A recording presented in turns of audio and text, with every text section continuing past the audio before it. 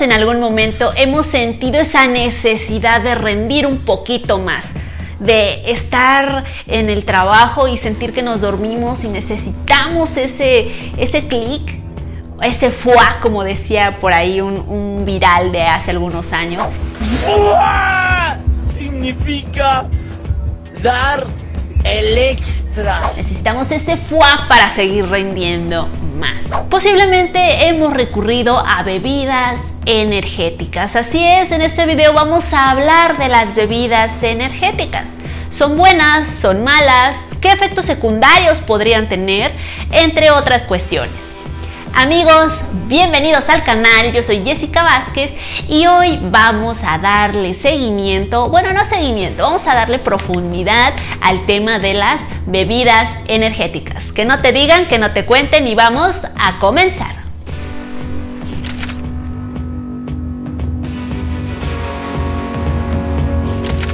Amigos, las bebidas energéticas. Son populares desde hace bastante tiempo, pero fue hasta 1997 que explotaron como la gran novedad gracias al lanzamiento de Red Bull. Así es, esa famosa bebida que te da alas.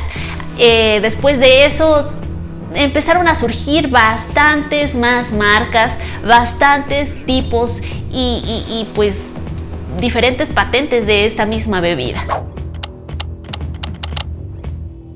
Las más conocidas actualmente es Red Bull y Monster y precisamente de esas dos nos vamos a basar en este video para ver qué tan benéfico es sus componentes. Las bebidas energéticas nos las comercializan como un shot de energía, algo que te eleva el ánimo y te pone en estado de alerta con un solo trago.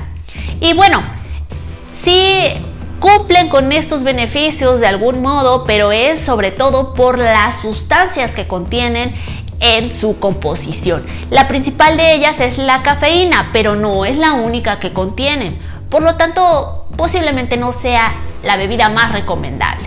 También pueden contener azúcar, taurina, L-carnitina, mm, gluconolactona, vitaminas, y compuestos vegetales como el ginseng y el guaraná pueden tener algunos beneficios, algunos otros no tienen tantos estudios, pero no te preocupes, en este video vamos a tocar un poquito de lo que son cada uno de estos componentes.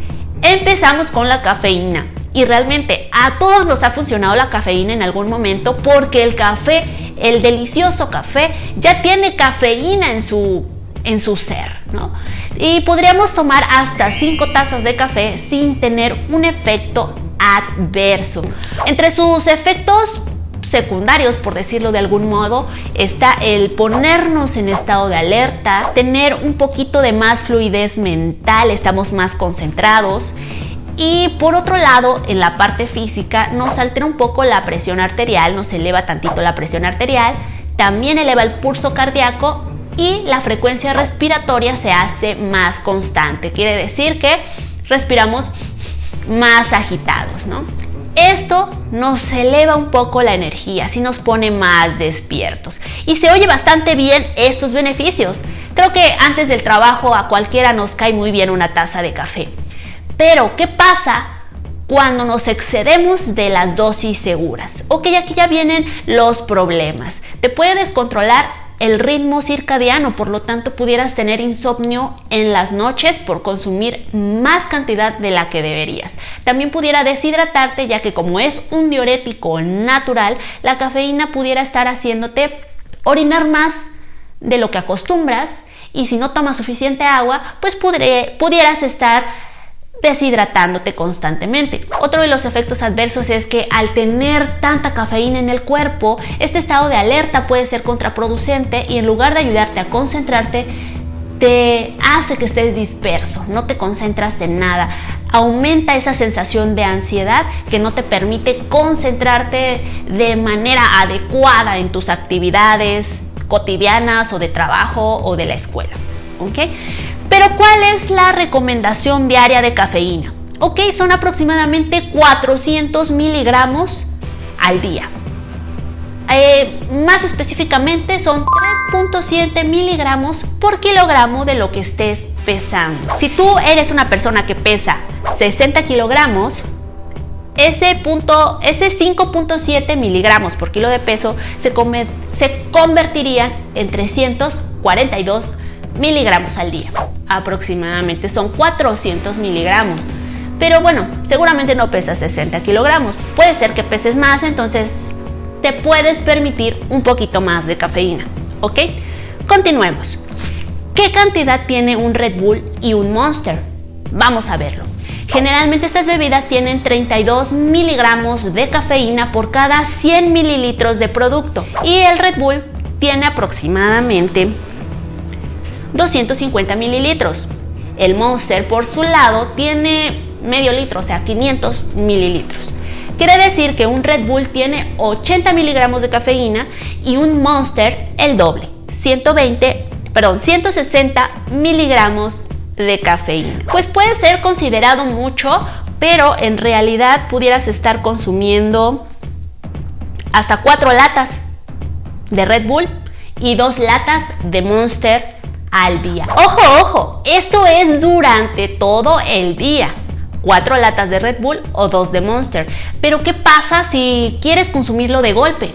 A lo mejor estás en una fiesta y lo empiezas a consumir con alcohol, que no es lo más recomendable, pero puede pasar, y consumes de golpe estas bebidas. Ok, la cafeína la pudieras estar tomando a la mitad. De golpe pudieras estar consumiendo nada más 3 miligramos por kilogramo de peso. Si, me vas siguiendo, entonces quiere decir que estarías consumiendo como máximo en dosis segura 200 miligramos por en ese momento, ¿no? En ese ratito. Así al momento solamente tú pudieras tomar una lata de Monster y dos máximo de Red Bull. Bueno, eso es para un adulto. Pasemos entonces a los niños. Yo sé que un niño tomando cafeína, no te lo quieres imaginar, ¿verdad? No, yo lo sé. Te lo pondrían más hiperactivo durante muchísimo tiempo, ¿ok? Eh, la cantidad recomendada, o bueno, no recomendada, todavía como dosis segura son 3 miligramos por kilogramo de peso que, que tenga en ese momento el niño. Digamos, un niño de 40 kilogramos podría estar consumiendo 120 miligramos de cafeína al día sin tener alteraciones en su salud, pero sí va a estar hiperactivo todo el día, entonces tengan cuidado con qué cantidades de cafeína les dan a los niños. Y tú me vas a decir, pero no toma café, no toma bebidas energéticas. No, yo lo sé, pero acostumbras a darle refresco, acostumbras a darle chocolate y caramelos. Ahí en algunos caramelos también contienen cafeína.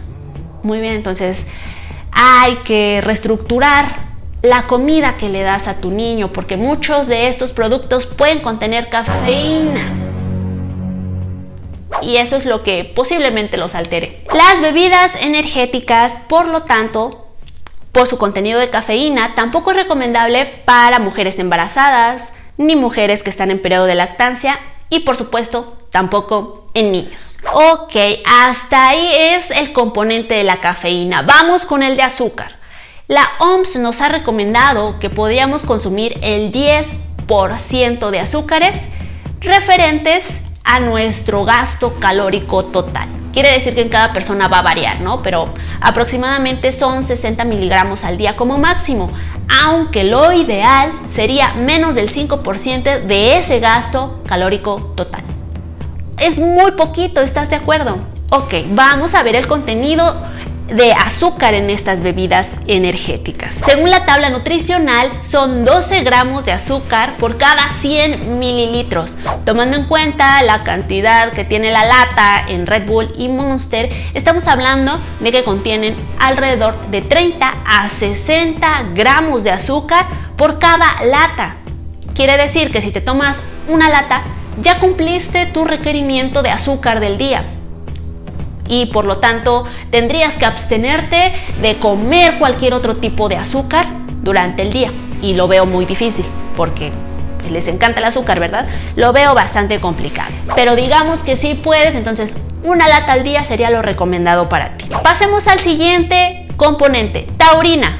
taurina es una proteína que nos promete muchos beneficios a la salud y en general sí se encuentra en el cuerpo. Nos ayuda a regular ciertas funciones del sistema nervioso central, pero tenerlo extra a través de una bebida energética no se ha comprobado que tenga beneficios eh, en estado de alerta o en el estado de salud.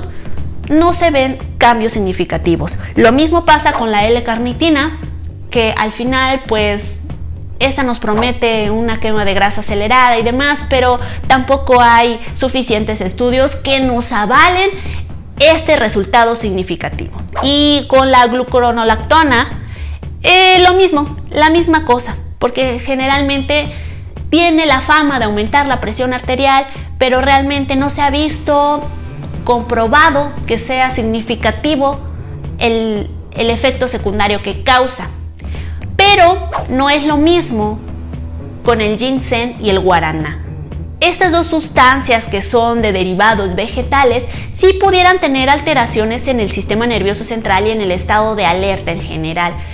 Mm, ¿Cómo les explico esto? Bien, son sustancias activas.